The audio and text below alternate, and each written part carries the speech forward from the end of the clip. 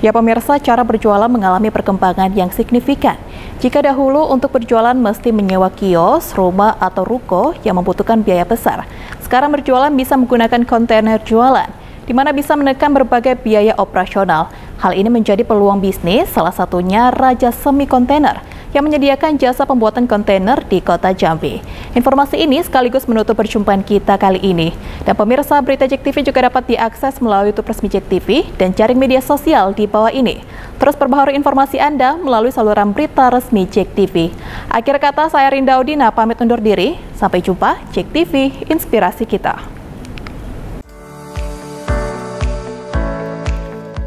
Bagi yang ingin memulai bisnis namun terkendala dengan modal, Meski saat ini sudah masuk digitalisasi yang memungkinkan siapa pun bisa berjualan secara online tanpa perlu toko fisik, tapi ada beberapa usaha yang masih membutuhkan kehadiran toko offline. Berjualan menggunakan kontainer bisa menjadi salah satu pilihan.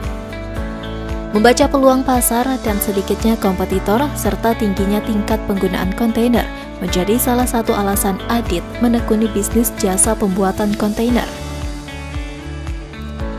Mulai menggeluti usaha jasa pembuatan kontainer di akhir tahun 2016 dengan pesanan pertama stand bakso bakar dan semi kontainer minuman dari luar kota Jambi. Hingga saat ini, Raja Semi Kontainer mampu memproduksi 12 hingga 25 unit dalam satu bulan. Raja Semi Kontainer memiliki target dalam satu minggu harus menyelesaikan 4 hingga 5 unit dan langsung dikirim kepada konsumen. Sementara untuk keuntungan diambil 30% dari harga jual. Untuk harga jasa yang ditawarkan mulai dari 2,6 juta hingga 45 juta rupiah, disesuaikan dengan permintaan konsumen dan jenis kualitas bahan yang digunakan.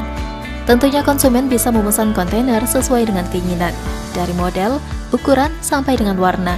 Untuk bahan dasar yang digunakan yakni besi holo ACP, seng, zigalium, dan spandek. Pemasaran Raja Semi Kontainer pun sudah sampai keluar kota Jambi, di antaranya Palembang, Pekanbaru, Saralangun, Merlung, dan Sabak. Adit berharap untuk bisnis yang ia geluti saat ini dapat lebih berkembang dan maju dan terus berinovasi, berkolaborasi dengan seluruh pelaku UMKM serta menginspirasi anak-anak muda dalam mencari peluang usaha.